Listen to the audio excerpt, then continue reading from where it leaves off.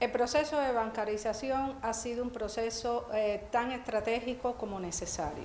Como se ha explicado desde sus inicios, es un proceso de desarrollo paulatino y en estos momentos se están viendo esos avances de, la bancarización. Pinar de Ría no queda exenta de esos progresos. Hemos logrado eh, la personalización de un gran número, una gran cantidad de tarjetas magnéticas, tanto en centros de pago como en personas naturales, así como la entrega de tarjetas matriciales, las cuales son muy funcionales o necesarias para el trabajo con el comercio electrónico a través de las pasarelas de pago, eh, en zona.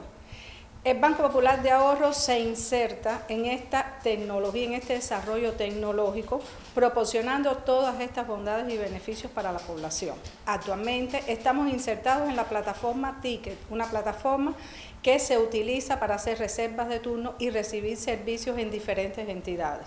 El banco comienza con esta nueva modalidad con muchos resultados. Comenzamos de inicio con la entrega de tarjetas magnéticas y matriciales se comenzó en una sucursal a modo de prueba y ya se ha extendido en todas las sucursales de la provincia.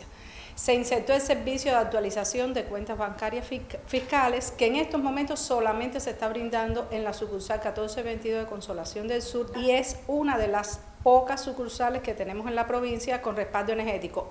Paulatinamente se va a ir extendiendo este servicio a las demás sucursales que cuentan con, este, con esta facilidad. Y Incrementamos ahora, en este mes de julio, el servicio de solicitud de títulos de propiedad, eh, contratos de arrendamiento y copia fiel que puede solicitar eh, un, cliente X que se le ha perdido su título de propiedad, bueno, la copia fiel es como el duplicado a este documento. Aclarar que la cola tradicional no desaparece. Este servicio se brinda como una facilidad para el cliente que desde su casa, desde un parque, desde donde él desea, accede a la plataforma, reserva su turno, se planifica su tiempo también y tiene prioridad en la sucursal bancaria. Cuando él llega, existe un listado con las reservaciones hechas del día se presenta con su carnet de identidad, aclarar que es intransferible, la persona que realiza la reservación es la persona que debe eh, identificarse en la sucursal bancaria para recibir el servicio. El servicio de tarjetas matriciales, magnéticas y la solicitud de título de propiedad, copia fiel y contrato de arrendamiento se puede brindar tanto con electricidad